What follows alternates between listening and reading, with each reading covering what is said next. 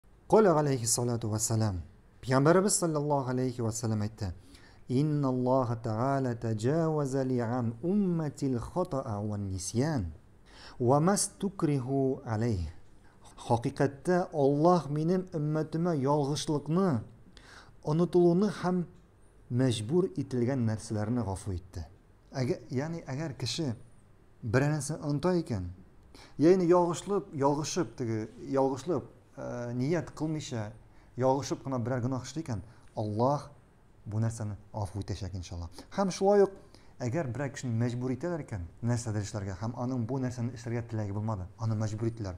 Шулай ук иншалла Аллаһ аны аның өчен гафу итәчәк.